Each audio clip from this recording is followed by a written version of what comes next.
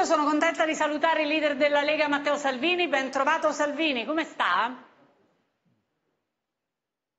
Grazie, sono nelle campagne marchigiane in provincia di Materata. Bene, ho appena parlato, peraltro vi sentivo che parlavate di scuola con un'insegnante precaria di sostegno eh. che era oggi a scuola a Montelupone a proposito di vita vera ed è impazzita perché lei doveva seguire una ragazzina disabile e non è riuscita a seguirla perché ha dovuto coprire cinque posti di altri cinque insegnanti che mancavano. E questa è vita vera della scuola No, no, ma noi, noi, tra l'altro lo, quindi... lo, abbiamo raccontato anche stamattina so ed è un, che, mm, è un tema che peraltro affrontiamo spesso perché io credo, Salvini, e poi veniamo alle difficoltà che si sono aggiunte col Covid, però io credo che la scuola in questo Paese sia un tema da un po' di tempo, quello degli insegnanti e degli insegnanti di sostegno anche, è un tema da un po' di tempo e forse è, è, molto difficile affrontarlo perché non lo so, anche con il suo governo qualcosa non ha funzionato se stiamo parlando ancora delle stesse cose, che dice? Guardi, dopo il Covid è cambiato tutto, eh, perché quando a marzo chiudi le scuole non è mai successo nella storia della scuola italiana. Noi da marzo dicemmo al Ministro Azzolini e al Presidente Conte attenzione, stabilizziamo decine di migliaia di precari, perché altrimenti a settembre sarà un problema. Mancano le aule nelle scuole pubbliche perché ci sono meno bambini per classe, coinvolgiamo le scuole paritarie che hanno migliaia di aule vuote, così lavoriamo bene, pubblico e privato, nell'interesse dei bambini. Compriamo i termoscanner. Cioè lei dice c'era il tempo e c'era la possibilità per intervenire caos, anche su problemi diciamo non solo legati al Covid eh, ma anche su anno, problemi. Non è un anno come Qualunque. tutti gli altri mm. questo, è un anno particolare. I, I, bimbi disabili, ce ne sono più di 250.000, che sono rimasti a casa da marzo, hanno sofferto due volte, perché un bimbo autistico che perde la quotidianità, perde il contatto umano, non ha la didattica a distanza, quindi abbiamo detto quest'anno più che mai in passato bisogna essere pronti nel momento in cui si riaprono le scuole. Eh, così non è andata, oggettivamente problemi ce ne sono. Alessio? Arrivano altri dati, questa è l'Associazione Nazionale Presidi, parla il Presidente Antonello Giannelli. Una delle maggiori criticità di questo inizio dell'anno è il fatto che mancano diverse decine di migliaia di insegnanti. Nei diversi istituti in cui ci sono cattedre vuote, come il caso limite di un istituto comprensivo del Prenestino, siamo a Roma, pare manchi il 50% dei professori ed è chiaro che l'unica soluzione è quella dell'orario ridotto. Il fenomeno, precisa l'Associazione Nazionale nazionale presidi riguarda molti istituti. Va bene, mi pare che diciamo, la, la, situazione sia quella che andiamo raccontando. Io eh, in verità Salvini, lo dico per onestà intellettuale, Tiziana, penso che lo scontro con, il, con, la scuola sia durissimo, cioè tornare alla normalità a scuola sia una cosa assai complicata. Alcune cose però sono d'accordo con lei, bisognava pensarci per tempo. Voleva aggiungere però, qualcosa? Eh, stabilizzare gli insegnanti precari Stabilizzare gli insegnanti precari non ha bisogno di legge, non ha bisogno di fondi. Ci sono degli insegnanti che insegnano già da dieci anni, stabilizza loro invece eh. di cambiare le graduatorie, di spostare uno che è a Trieste lo mandi a Cagliari, stabilizza in quella classe, in quella scuola, l'insegnante che è lì da cinque anni, non ti costa nulla. Hai le aule che ti mancano, usa le scuole paritarie che ti mettono a disposizione delle aule, ma eh, mancano perfino i banchi, il ministro Azzolina ci ha parlato per tre mesi, e parlo da papà, dei banchi con le rotelle e adesso scopriamo che la metà dei banchi arriverà a novembre. Beh, mi sono chiare tutte le osservazioni, Salvini, rispetto alla stabilizzazione degli insegnanti, mi viene da dire uno che aspetta di essere stabilizzato da dieci anni, poteva essere stabilizzato anche un anno e mezzo fa. Però capisco il ragionamento che lei fa e le altre questioni che sono tutte aperte. Mi sposto su, diciamo, dalla scuola al referendum, facciamo questo viaggio Salvini, le voglio far affrontare mille argomenti, una volta che ce l'ho lei capisce. Fatemi sentire la Raggi.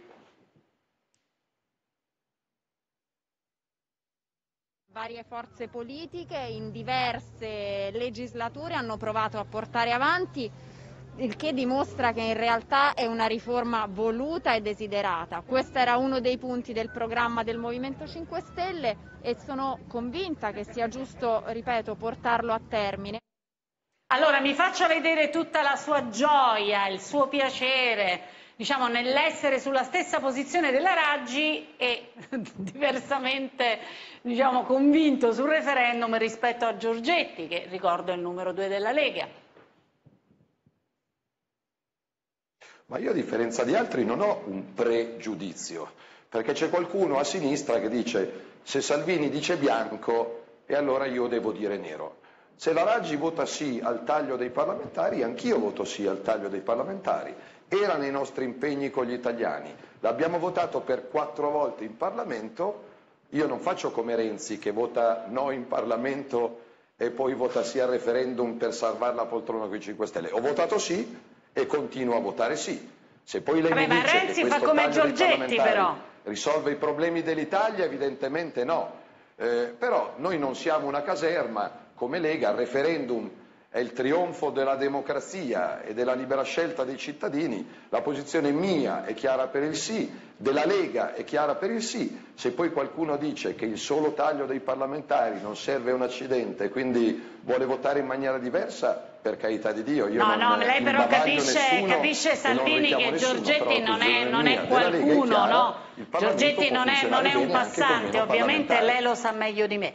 Detto questo, però io le chiedo, siccome ho sentito anche la Meloni che ha ribadito che lei è per il sì al taglio dei parlamentari, ma ha anche detto sento un'aria perché magari potrebbe passare l'idea di dare con questo bella, eh, un bel sommovimento per il governo. E allora le chiedo, la sua sensazione qual è?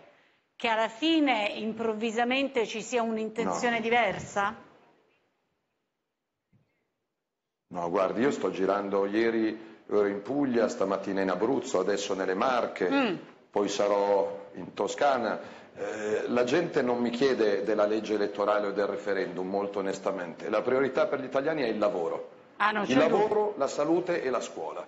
E quindi noi ci stiamo impegnando per dare risposte sul tema del lavoro, della salute e della riapertura eh, delle scuole. Se un signore di 75 anni al Mugello in Toscana mi ha portato la sua impegnativa per il campo visivo e gliel'hanno data a giugno 2021, per me prima del referendum della riforma elettorale viene eh, dare una sanità migliore a quel signore che mi dice io magari a giugno 2021 col mio occhio non, non ci arrivo, in Toscana certo. non puoi dire Però diciamo per fortuna arrivano un sacco e di quindi, soldi dall'Europa, un'occasione, un'occasione ghiottissima, c'è riuscito Conte, 209 miliardi e vive viva, no?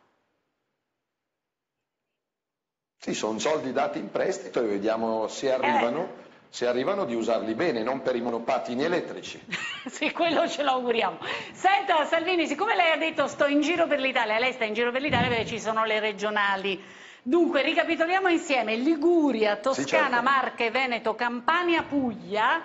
Le chiedo una previsione realistica, cioè lei sta... Aspetta, aspetta Tiziana, eh. Tiziana c'è anche la, la, Valle d'Aosta, vabbè che è piccolina. Sì, sì, sì, quel pezzettino là me l'ero scordato, ha ragione, ha ragione. Lei stappa lo champagne se... Io mercoledì sera sarò nella splendida Valle d'Aosta.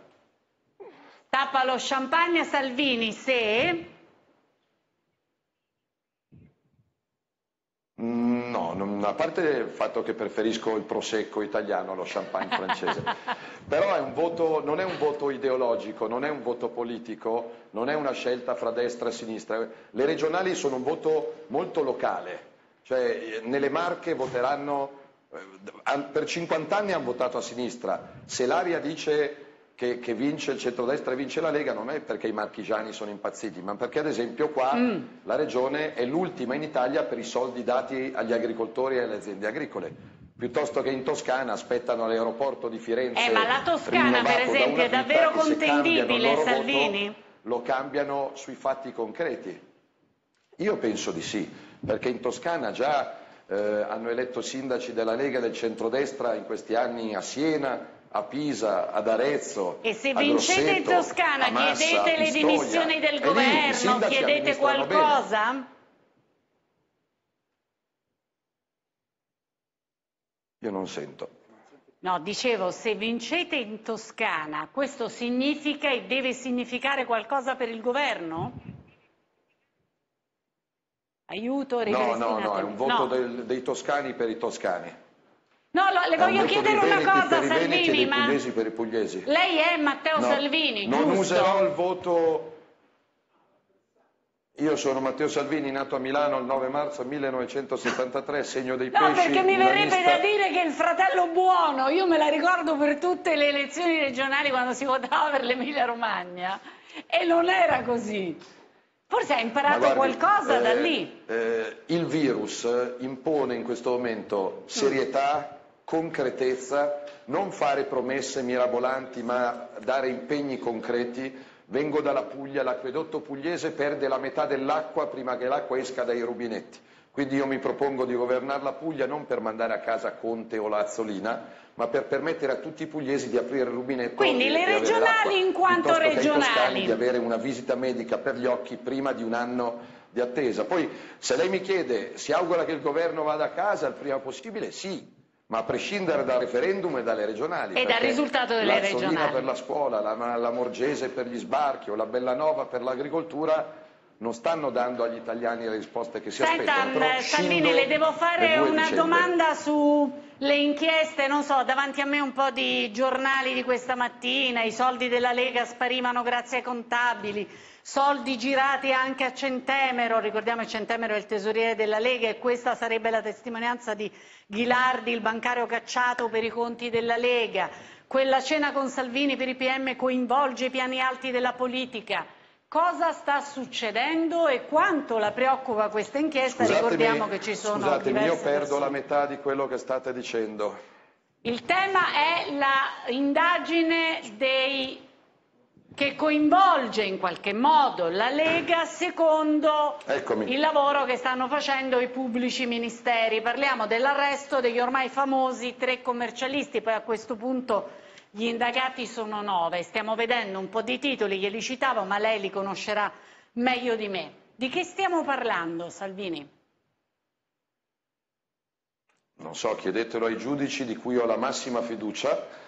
So che da anni ci sono procure e giornalisti che cercano soldi della Lega in Russia, in Svizzera, in Lussemburgo, in Liechtenstein, a San Marino, oggi leggevo anche a Panama. Abbiamo sparso soldi in giro per il mondo. Secondo me possono cercare per vent'anni perché non c'è una lira. I soldi la Lega Lei si fida di questi commercialisti, di queste due per persone che poi al momento sono solo indagate, lo ricordo perché io sono convinta che uno quando è indagato è indagato, poi se è Delle condannato due è persone che conosco mi fido e, e le conosco come persone corrette. Eh, La Lega non ha mai chiesto niente, non ha mai preso niente e quindi fino a prova contraria mi fido di persone che conosco da tempo e che reputo persone corrette. Non parlo di complotti della magistratura, ognuno fa il suo lavoro. Il processo su cui mi sto documentando è quello che riguarda me, visto che io il 3 ottobre sarò in tribunale a Catania per rispondere di sequestro di persona e rischio 15 anni di carcere, se becco il Palamara di turno, insomma, non- non- c'è, c'è di che preoccuparsi, però perché ho In che bloccato senso c'è di che preoccuparsi? di quel processo rispondo io. E beh, insomma, vi ricordate chi è davanti al televisore si ricorderà le intercettazioni di Palamara, Mm. che non era un passante, era il presidente dell'Associazione Nazionale Magistrati. Quindi lei dice se non trovo un magistrato corretto? per rappresentarli che aveva detto, no ma Palamara aveva detto, per, per iscritto, cioè per iscritto, Salvini ha ragione, Sa- Salvini rispetta la legge, però bisogna fermarlo, però bisogna indagarlo, però bisogna processarlo. Eh, la, la qualcosa non è proprio Però Palamara non era chiamato ad civile. esprimersi Io non su penso di lei. essere un sequestratore. Eh, ho capito, eh, però io ripeto, confido nella stragrande maggioranza dei giudici per bene, quindi è giusto che indaghino.